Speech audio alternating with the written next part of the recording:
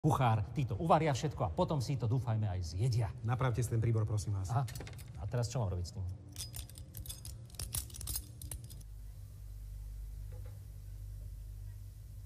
Netreba nič vysvetľovať. Maroš robí praženicu. Nie portugalskú, ale takú našu obyčajnú slovenskú praženicu. Rodí sa jedlo, ktoré nám tak často zachraňuje život.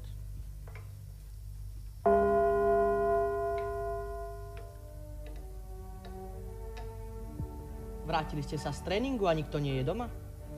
Odcestovala vaša mama na služobnú cestu? A v chladničke sú okrem ľadu iba vajcia? Zachráni vás...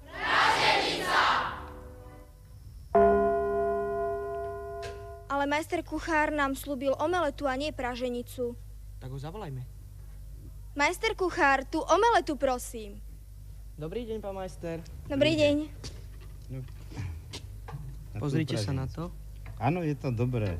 Má to síce ešte rôzne kombinácie, ako cibulku, slaninku alebo šunku, ale keďže ste jej tam nedali, aj tak je to dobré. Ako amatér som to zvládol. Vynikajúce. Vy ste nám slúbili, pán kuchár, omeletu.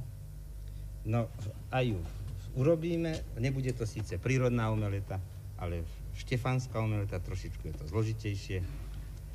Pripravuje sa z troch vajec.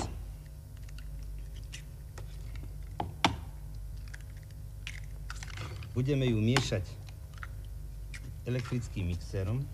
Na tri vajíčka pridáme dve lyžice cukru a miešame pokiaľ by sa, pokiaľ by sa toto malo šľahať ručne, tak sa musia rozdeliť bielka od žltok. Skúste si to vyšľahať. Pokiaľ nám Maroš vyšľahá, lebo to niečo potrvá, ja vám zatiaľ ukážem prípravu tej prírodnej omelety.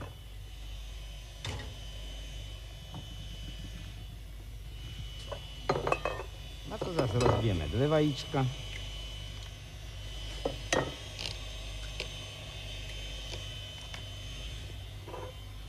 Trošku posolíme. A tu je potrebné tiež šlahať, ale už vidličkou. Medzi tým sa nám zohrieva panvička. No a keďže už to rozohriata, je to vlastne, vlastne palacinka vaječná, ktorá potom sa ešte plní po upečení, treba špenátom, mozočkom, šampiónmi, lečom, paprikami.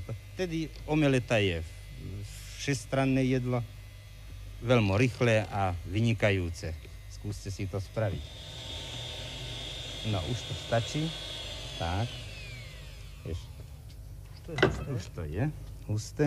Pridáme teraz plnú lyžicu hladkej múky. To musíme opatrnejšie pridať. Trošku zašlaháme. Celkom zľahka. Aby sa nám nezrazila.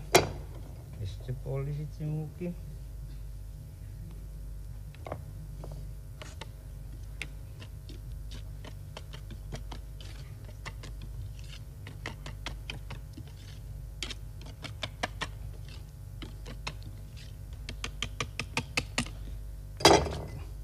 Toto bude tá štefánska omeleta? Toto bude tá štefanská omeleta.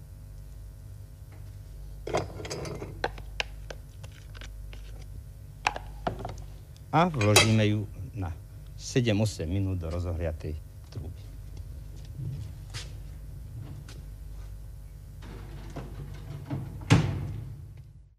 Nuž, kto si čo navarí, to si aj zje.